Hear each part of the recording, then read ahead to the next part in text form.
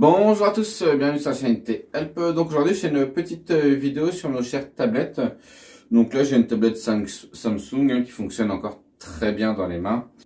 Cette tablette date euh, de 2014-2015 environ.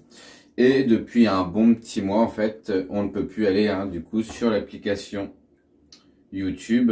Donc là, si je vais, hop là, sur l'application YouTube, ça me marque, passez sur youtube.com, cette version de YouTube est obsolète, aucune mise à jour n'est disponible pour votre appareil. Donc là, depuis euh, bah, un petit moment, j'ai de plus en plus de personnes qui me mettent des messages, euh, qui me disent, bah, on n'a plus euh, YouTube, c'est embêtant.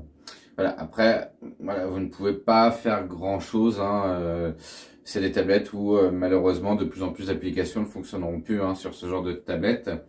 Après, je sais que moi, sur cette, euh, moi pour cette tablette-là, c'est une tablette que j'avais donnée à ma fille, enfin que j'ai donnée à ma fille. Et il y a toujours la possibilité, hein, via le Play Store, de télécharger YouTube, YouTube Kids. Donc c'est YouTube qui est fait hein, pour les enfants, hein, de Google, hein, pareil, qui lui va encore fonctionner. Et l'avantage de YouTube Kids, c'est que il n'y a euh, pas de pub. De plus, sur YouTube Kids, ce sont euh, que des vidéos qui sont faites pour les enfants. Il n'y a pas de clip euh, de violence. Euh, voilà, c'est vraiment du contenu que fait que pour les enfants et sans publicité.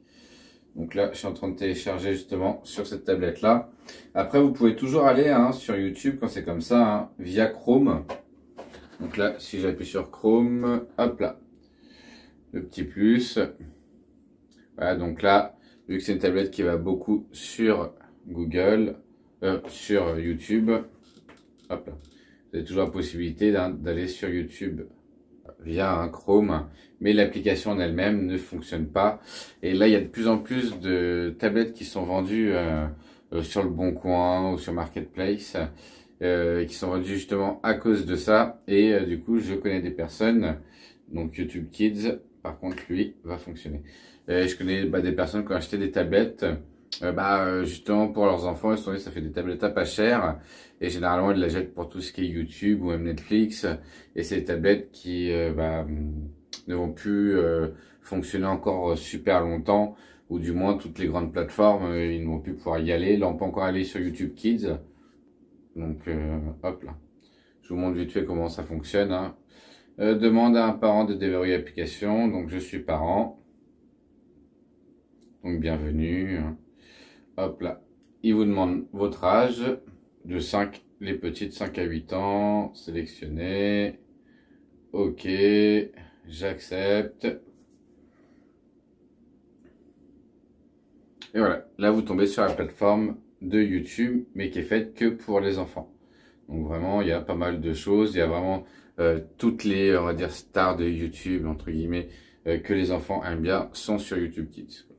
Donc bon, c'est toujours une alternative à ces tablettes-là. Et de toute façon, c'est pour vous dire que dans tous les cas, euh, voilà, vous ne pouvez rien y faire. Et faites attention si vous achetez des tablettes d'occasion.